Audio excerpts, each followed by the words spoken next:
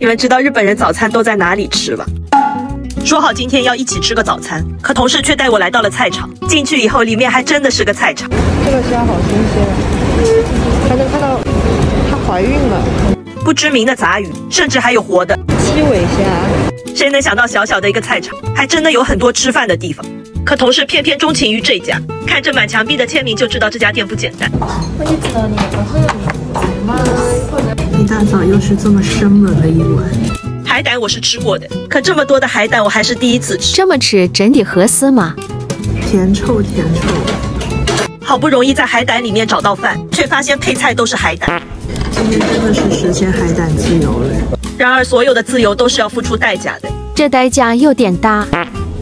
日本人早上为什么喜欢吃生鸡蛋呢？这家在菜场开了七十三年的玉子烧店会告诉你要把蛋弄熟需要多少个繁杂的步骤。首先，你得倒上一层蛋液，别倒多了。等熟的差不多了，就要翻。接着在空白处刷一层油，倒上一层蛋液以后，继续翻。这得翻多少次啊？翻到手抽筋以后，再用木板定型，拿出来还不能马上吃，要把它们切成一条一条，插上竹签以后。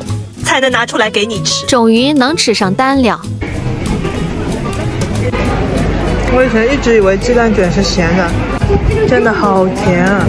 既然来了菜场，怎么能不吃小鱼饼？这家店的鱼饼跟别的店的不同，就形状不同而已。外皮倒是又薄又脆，这个倒没有想象中那么甜。本来以为只有鱼肚子里是豆沙，可没想到吃着吃着，鱼尾巴里都能吃出豆沙，这真的是一豆到底嘞！这样的日本菜市场，你们觉得怎么样呢？